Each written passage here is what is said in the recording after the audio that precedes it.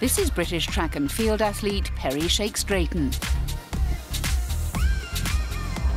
Three years ago, Perri was one of the world's leading 400 metres hurdlers. But after suffering a serious knee injury, she was forced to rethink her track future. Now 27, she's made the decision to focus solely on the 400 metres flat, and she's aiming to get back to the top of the athletics world in the years ahead.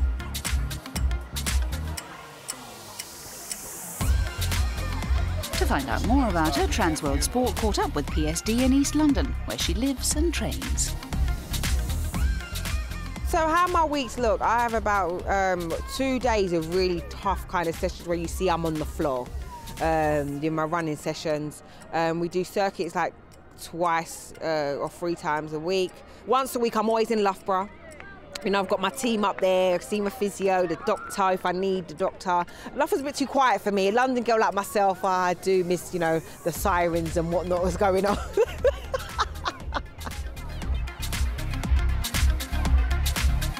Chris Zah is Perri's coach. They've been working together since she was 11. Could I say I love her? And I do, because we've been together for years and we really know each other. So we know when each other's in a bad mood. She knows when I'm in a bad mood. I know when she's in a bad mood. But I think we enjoy working with each other. As a youngster, Perri excelled in the hurdles event.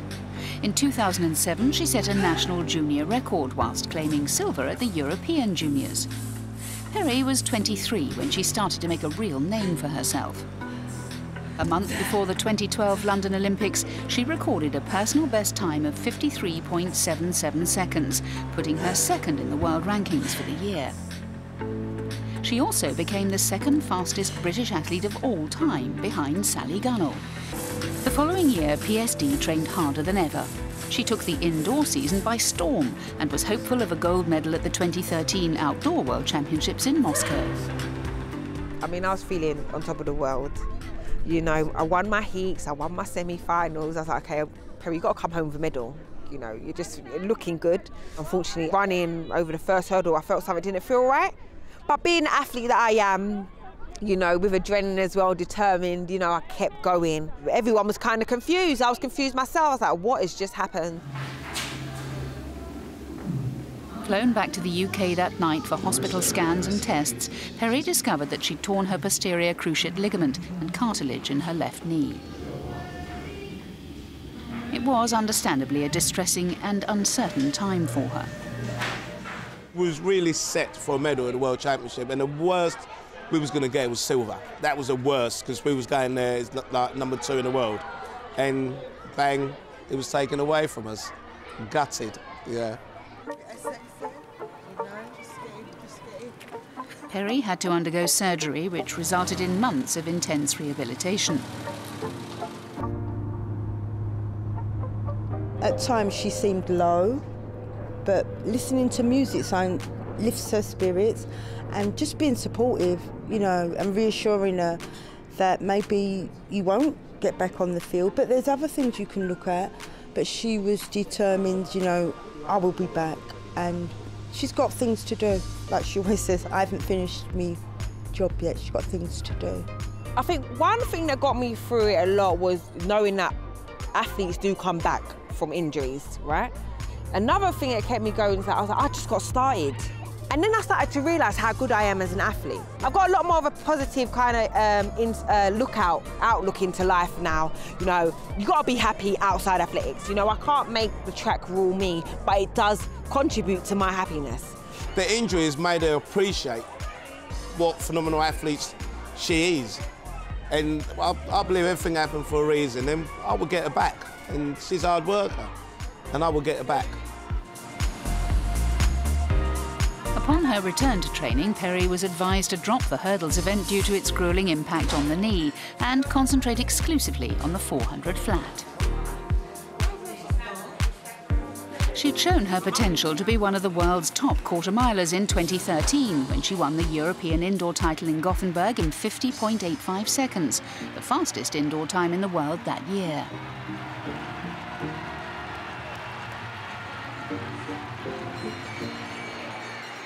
From back in the days, from when she was young, I've always said she needs a two event. So four flat, four hurdles, so she has to be good at both. But in the end, she's good from 200 to four flat to four hurdles. But that was my backup in case anything did happen, and it did. Um, I do enjoy doing the 400. I've got a pretty decent, you know, uh, flat time. Um, and I'm actually looking forward to the, the new challenge ahead. Hi, Trans World. This is Perri Shakes-Drayton, and welcome to the PSD Residence.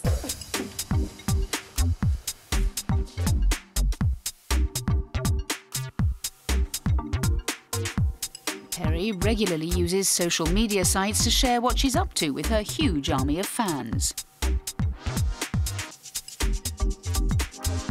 Recently, she's been getting involved with various sporting projects, including a collaboration with a company where Perri teaches a series of Train with PSD classes around London. She's also had the opportunity to get in front of the camera, and it's no surprise that her charisma has captured the attention of the BBC.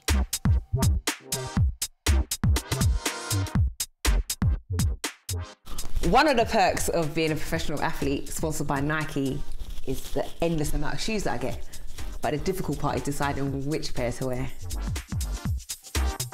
Months ago, Perri competed for the first time since 2013 in a relay event in Germany. Running in that race was a very proud moment for her.